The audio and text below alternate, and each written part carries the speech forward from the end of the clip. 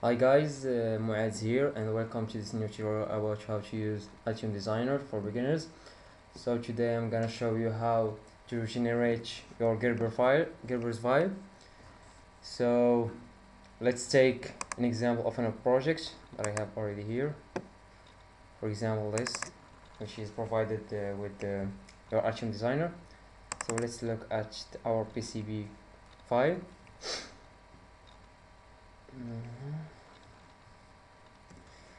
So here is our PCB. So let's see how many how many layers do we have in our PCB. So go to design layer stack manager. So here you can see that we have top layer, mid layer 1, mid layer 2, GND, the ground and mid layer 3, VCC, layer 4 and bottom layer. So in the total we have 1, 2, 3, 4, 5, 6, 7, 8 layer.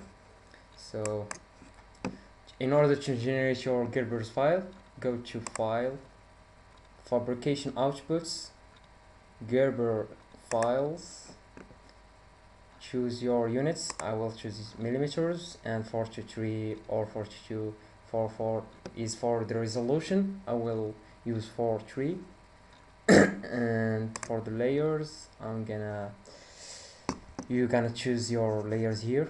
I choose top overlayer top pass top solder top layer the mid layer 1 mid layer 2 the ground mid layer 3 VCC mid layer 4 bottom layer bottom solder bottom pass bottom overlay and the the keep out layer.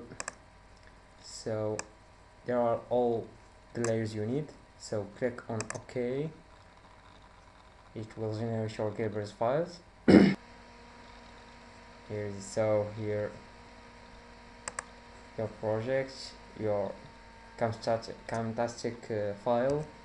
So you go to Camtastic here and you have your the, the generator Gerber's file here. Here the different you want to see one by one just you click here and and check this those so here are the different uh, files. So you can know each file by the extension here. For example gtl g1 etc so gtl means the top layer as you can see here. The g1 g2 etc gx are the mid layers. So for example like that and etc the GP are in GP1, GP2, etc. are the internal plane layer, and for example, the GBL, the GBL are the bottom layers, like that. For example, the GTO are the top overlayer the GTP are the top mask uh, the top pass mask the GTS are the top solder mask the GBS files are the bottom solder mask the GPP are the bottom pass mask and the GBO here is the bottom overlayer gm 13 14 etc x. So is the uh, sorry is the mechanical layer yeah the mechanical layer and the, the the last one is the keep out layer. And last thing to do is uh, go to your project again and save the camtastic file. So I'm gonna create new folder. Gerber's 2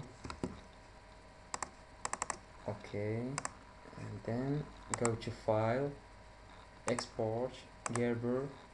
Okay and choose your folder. Gerber 2 okay so you go to Gerber 2 you will find your generated Gerber's files will which you will uh, give to your manufacturer to, to produce your PCB so it was everything for today. I hope it was useful for you. Goodbye and see you next time on other tutorials